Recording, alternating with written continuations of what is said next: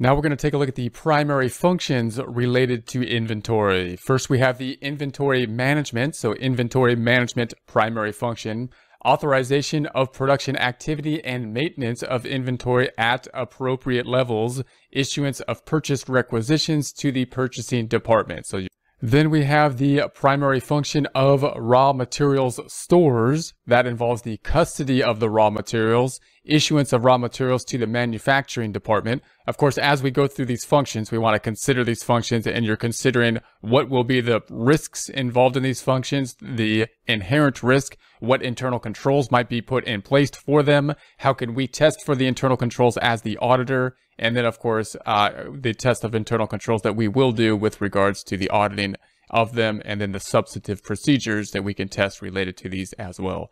Then we have the manufacturing, the primary function of manufacturing. That's going to be the production of goods. Then we have the finished goods storage. So the storage of the finished goods, which of course involves the custody of finished goods, issuance of goods to the shipping department. Then we have the cost accounting. Cost accounting is the maintenance of the cost of manufacturing. So we have to account for the maintenance of the cost of manufacturing, inventory, and cost records. We want to make sure the inventory is in the cost records. Then we have the general ledger. The general ledger is, of course, the accumulation, classification, summarization of inventory and related costs in the general ledger.